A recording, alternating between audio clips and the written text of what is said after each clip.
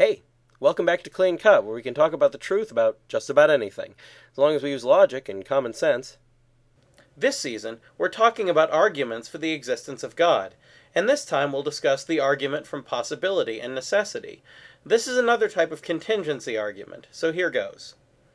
Premise 1.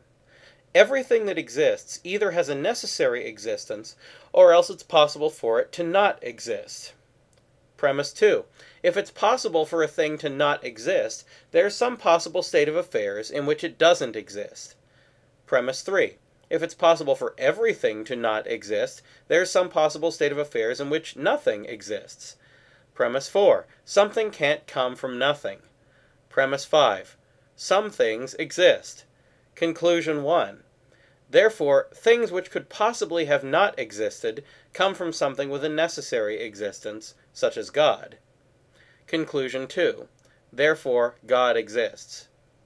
With an argument like this one, most of the premises are pretty clear. The real problem isn't proving the premises to be correct, but explaining why the conclusions follow from them. Still, let's look at the evidence for each premise in turn.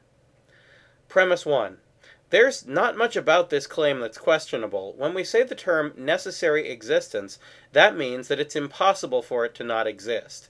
Therefore, aside from things that have a necessary existence, everything might not have existed, so premise 1 is true.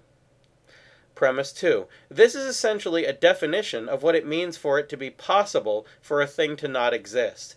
If there weren't any possible state of affairs in which something didn't exist, its non existence would be impossible. Premise 3. This is just an extrapolation from the last premise, applying it to everything generally. Premise 4. This is one of the most basic truths of metaphysics on which science is founded. Premise 5. This one is perfectly obvious. Just look around for evidence of it if you need some. Conclusion 1. Because of premise 2, we know that possibly non existent things might not have existed, which means that the reason why they exist isn't immediately clear. If something has a necessary existence, then sure, it exists because it can't be otherwise. But that's not the case with non necessary things. So, unless you're going to claim that everything is necessary, an objection that we dealt with in episode 198, you've got to ask why anything exists at all. After all, if everything were possibly non existent, then why would there be anything? Things that don't exist can't cause themselves to come into being because a non existent thing doesn't have any potential. Since a necessary thing does have a clear reason why it exists, and doesn't need to come from anything else, this problem can be solved by proposing a necessary thing which exists and causes other, possibly non existent things to come about.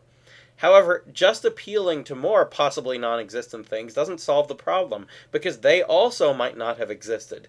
You've got to propose something with a necessary existence, since that's the only way that there could be any reason why it exists then there's no problem with saying that a necessarily existent thing can bring other, more limited things about.